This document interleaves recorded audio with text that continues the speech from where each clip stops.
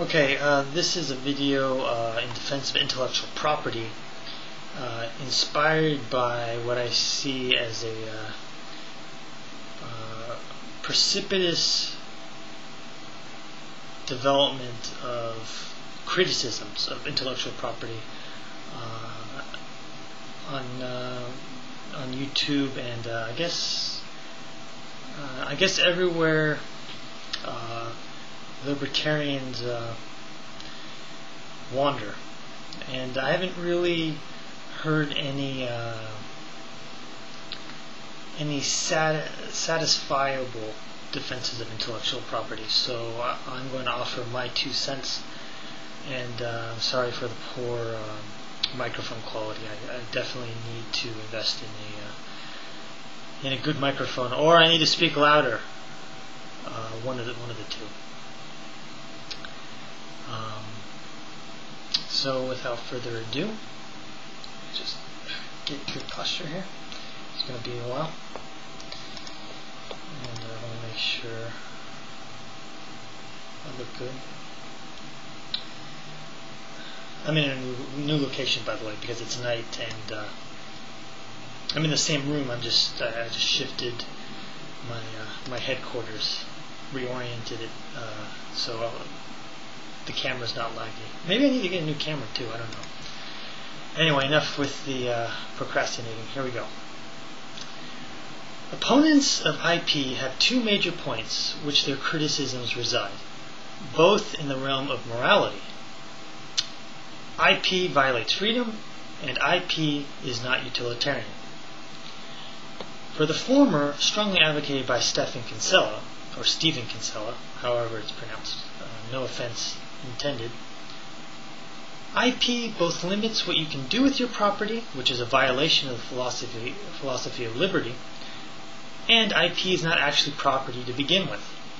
That is, ideas are not scarce and do not fulfill the sufficient conditions of what constitutes property. First, the fact IP limits what one can do with your property, i.e., if I own a printing press, I cannot use it to print Harry Potter and sell it, does not diverge from the principles of property rights. If it is illegal to take a baseball bat to your windshield, is my usage of the baseball bat violated? What about using my spray paint to vandalize your house? Property rights by definition limit what one can do with their property to ensure its protection from destruction. This is why opponents of IP do not consider IP to be property to begin with. According to their argument, property is for scarce resources, and since ideas are not scarce, one cannot, quote, own an idea. Yet through their own logic, human life is scarce, as this is the basis for all property rights.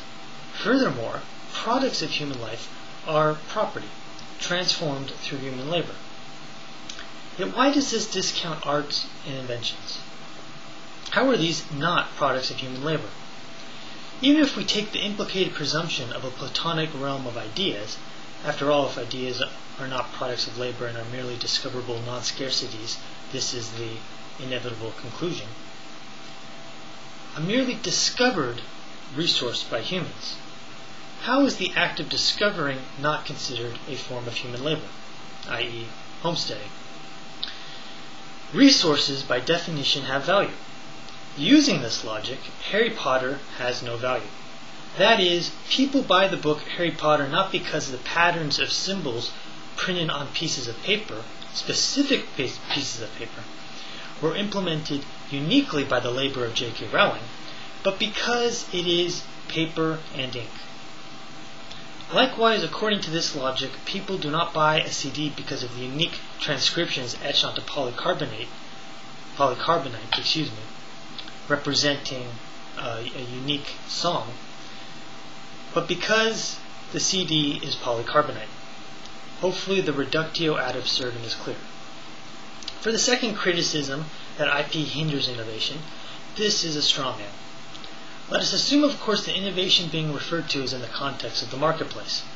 Here the objective, recall this is a utilitarian argument, of IP is not to promote innovation, as per the U.S. Constitution, quote, to promote the progress of science and useful arts, end quote, does not necessarily refer to marketplace innovation. In fact, IP is not necessary for an inventor to sell a good. However, IP provides him greater incentive to disclose his invention in detail than through the alternative, disclosing it through the marketplace, through sales.